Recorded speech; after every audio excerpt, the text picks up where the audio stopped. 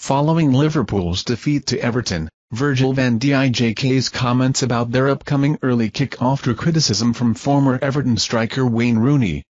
Van Dijk mentioned the timing of their next game, but Rooney dismissed it, suggesting Liverpool should focus on moving on from the loss.